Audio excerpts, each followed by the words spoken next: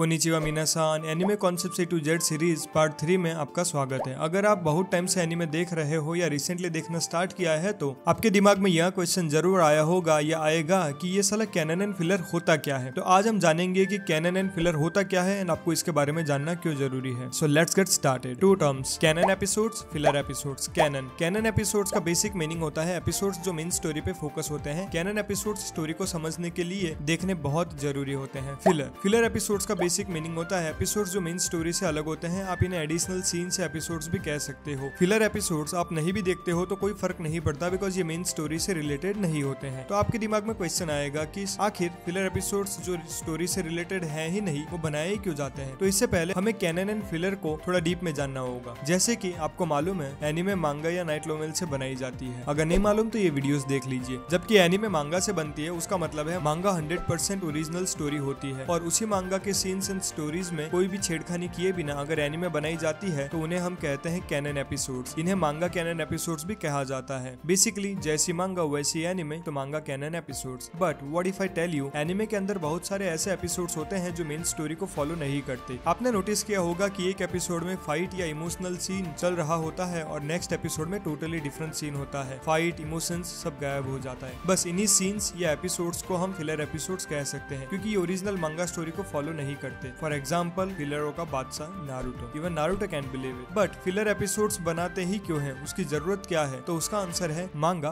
पहले रिलीज़ होती है। फिर एनिमे बनना स्टार्ट होती है। लेकिन एनिमे एपिसोड्स मांगा से जल्दी बन जाते हैं। क्योंकि एनिमे स्टूडियो को story and character design already manga से मिल जाती है। तो उन्हें सिर्फ़ एनिमे सीन्स को रीड्रॉ ही करना होता है। But still it's not that easy to redraw respect to anime artist इसीलिए एनिमे स्टोरी वाइज मांगा से जल्दी कैचअप कर लेती है। जब anime episodes and manga chapters साथ साथ चल रहे होते हैं तो कोई दिक्कत नहीं होती। बट कोई बार मांगा के नए चैप्टर्स लेट रिलीज़ होते हैं, वो कोई भी कारण हो सकता है, या फिर मांगा क्रिएटर बीमार हो गया हो, या फिर ब्रेक ले लिया हो तो सब बहुत सारे रीजन हो सकते हैं। उस टाइम पर एनिमे स्टूडियो को आगे की स्टोरी एंड सीन्स नहीं मिल पाते। ऐसे टाइम पर एनिमे स्टूडियो को आगे के एनिमे एपिसोड्स नए सीन्स एंड स्टोरीज के साथ रिलीज़ करने होते हैं, जो मेन मांगा स्टोरी से रिलेटेड नहीं होते। और जबकि एनिमे वीकली रिलीज़ होती है तो व्यूअर्स का अटेंशन बनाए रखने के लिए एनिमे स्टूडियोज फिलर एपिसोड्स बनाते हैं। तो इसीलिए बनाए जाते हैं फिलर एपिसोड्स अगर मैं आपको बताऊँ तो नारुतो पार्ट वन में 41 परसेंट फिलर एपिसोड्स हैं। नारुतो शिपुडन में 41 ब्लीच में 45 वन पीस में 9 परसेंट एंड बोरुटो में 11 परसेंट फिलर एपिसोड है। और हाँ एक और टर्म है anime canon episodes anime canon episodes filler episodes जैसे ही होते हैं, लेकिन यह फिलर एपिसोड से थोड़े डिफरेंट होते हैं। एनिमे कैनन एपिसोड्स में character development extra meaningful fight scenes some good explanation about some story parts जो थोड़े मेन स्टोरी से रिलेटेड होते हैं